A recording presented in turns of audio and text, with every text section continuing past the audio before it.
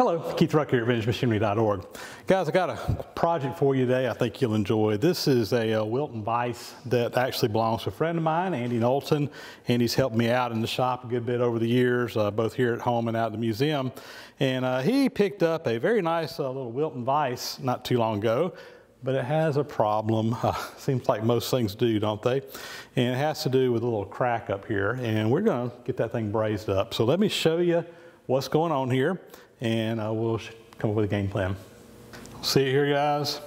When Andy picked this uh, vise up, it looks like uh, it had the jaw was a little bit loose. It wasn't real tight, and someone went to pounding on the top of it with a hammer, and when it did, it transferred the shock down to this little lip on the bottom, and we've got a crack. It's not broken completely off, but it's broken pretty well down in here. Uh, you can kind of see on the bottom, it goes to about right back in here and even on the top, uh, it's partially cracked right in there. So game plan here is, is where this is going to be a brazing job.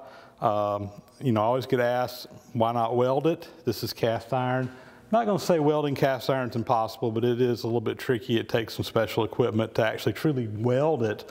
Uh, but brazing it is, uh, is pretty common way of doing it. And the difference between welding and brazing is, is that welding, you're actually melting all the metal together. With brazing, you're putting a filler metal in there that binds to everything uh, and holds it together very well. And in the case of uh, what we're going to be doing, we're going to be using some bronze, uh, some uh, silicon bronze, I believe is what we're going to be using for this.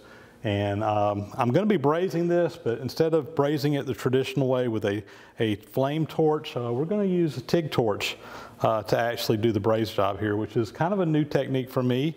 I've been doing the flame brazing for many, many years, uh, but recently picked up a TIG machine and we're going to give this a try. Uh, I've done some practice welds on cast iron or brazing on cast iron, and but this is going to be really my first job for real, so hopefully everything goes good. Before I do anything else, we're going to come in here and just kind of clean this thing up. I've got a twisted knot wire wheel on my grinder here and we're just going to go ahead here. I got a little bit of looks like some paint uh, but I want to get it complete just as clean as I can get it number one get the, all the dirt all the grease all the grime all the paint everything off of here as I can because I saw impurities that can get into this braze job when we start so uh, let's clean it up as good as we can right around the area we're going to be working in.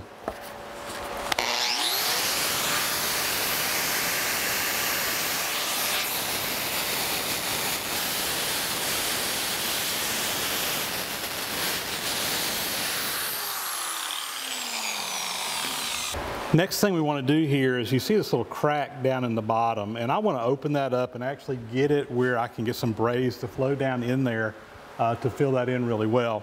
Uh, and to do that, I'm going to use a little grinding wheel, actually a little cutoff wheel to go in there and just make a, a slot in there. We're going to be doing this all the way around. So I'm going to do right here. I don't know if I can get on this face very well just because of the angle, but we'll try to see what we can do there and also work across the bottom down here uh, just to open all those gaps up again.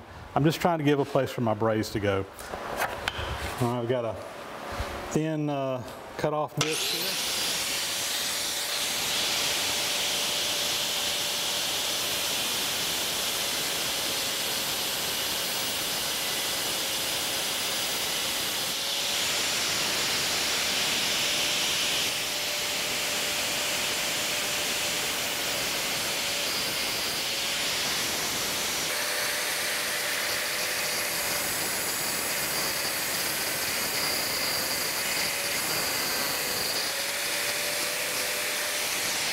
I had to take my guard off my grinder to get down in there.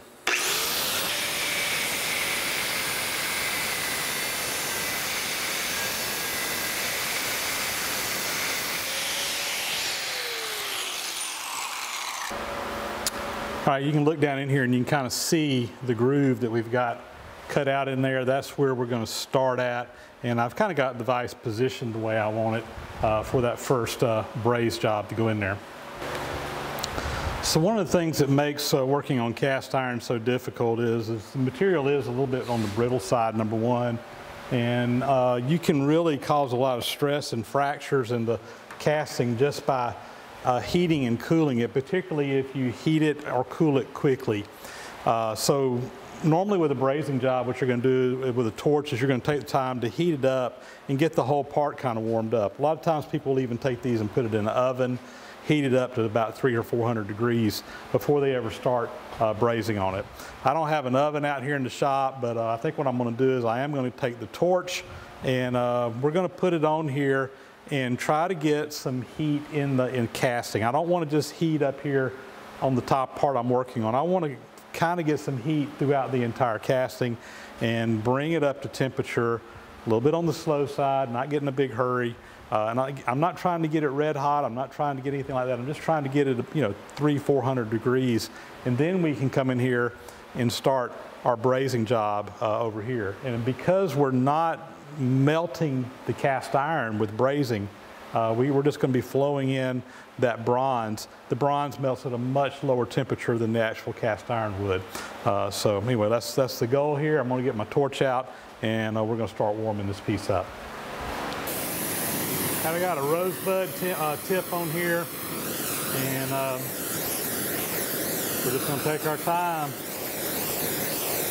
heat it up, get it up a couple hundred degrees. I'm not trying to get in a hurry. I'm not trying to sit here and direct a bunch of heat in one area. We're trying to heat it up fairly even across the entire part. We'll be back in a little bit. All right guys, I'm hitting this with my infrared thermometer and we're reading a little over 300 degrees up here on the top. So uh, that should be a little bit of a preheat. Again, the idea here is just get some heat in there so that, you know, when we come in here with this TIG, we're going to be applying a tremendous amount of heat in a very small area. And I just want to have some heat already in there so things don't go crazy expanding and contracting uh, and causing the crack to be worse than what it already is. So let me get suited up here and we'll go ahead and start TIGging this. I'm to go ahead and hit it with some uh, argon first kind of flush it out.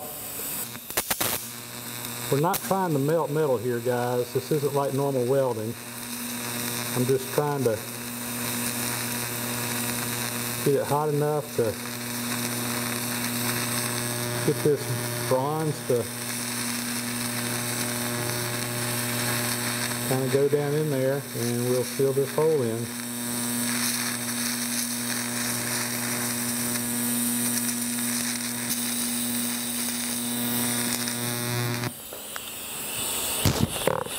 I'm really having a hard time seeing this, guys. I'm trying to do it where you guys can watch and I can do it, but I may have to get in front of the camera here some because I'm having a hard time seeing what I'm doing and that is not looking pretty.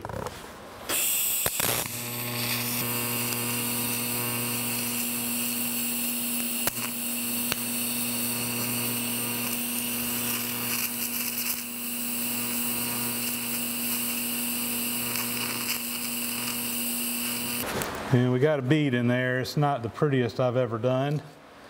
It's kind of an awkward uh, spot to be in here, but, and I got some soot, guys. That's mostly from the impurities in this cast iron. Um, that's just cast iron welding right there, brazing. Let's uh, see if we can clean that up a little bit. I'm gonna have to get in here and, of course, mill this out later on. But hopefully that uh, at least got enough material down there in that bottom that uh, it's going to close that up. Right, I'm going to flip this over and we'll continue on working around. That went a lot better, guys. Just not as hard to get into.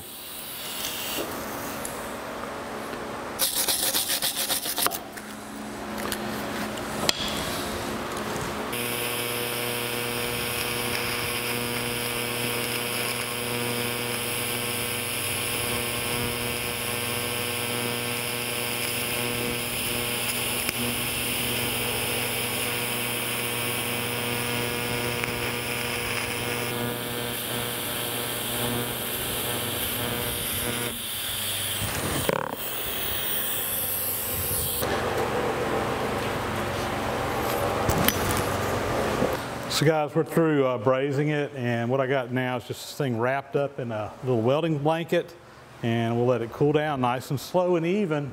Again, trying to avoid any uh, stress fractures from occurring. Well, it may not have started out looking very pretty, but I think it looks all right right now. Uh, I've come in here and ground, and I got in here with some files and stuff and just kind of cleaned down. And it looks to me like we've got a good brazed joint down in there. Yes, you know, we got a couple little small inclusions in there, but I'm telling you guys, when you're dealing with this cast iron, it's just so much junk in it, uh, that so much trash that comes out of it. It's hard to get a just perfect uh, braze job. But I'm very happy with that. I think Andy's going to be happy with it as well. Um, on the side over here, uh, that cleaned up real nice. And then, see, I can get this on the bottom when you guys can see it. So um, down there on the bottom again, I just got in there with the grinder and it looks like it's, it's, it's completely bound all the way down in there. So uh, I'm happy with that as well. You know, as far as what's really left to do here, it- you know, I think, and Andy's got a milling machine, so he can do this, but I would probably set this up on the milling machine and put an end mill in here and just kind of hit the face of this and, and probably hit the bottom of this too and just get a nice sharp corner down there and just kind of clean up, particularly the backside where that, that, um, that jaw is going to go on. The bottom, not worried as much, uh, but make sure we got a nice flat surface back there. It feels pretty flat, uh, but I think it would be good just to, just to shim a few thousandths off of there. Uh, I think that'll go a long way toward kind of cleaning this thing up and making it ready. Uh, but again, I'm gonna leave that for Andy. Uh, he just asked me if I'd help him get it brazed up, and uh, I think we've got that part done.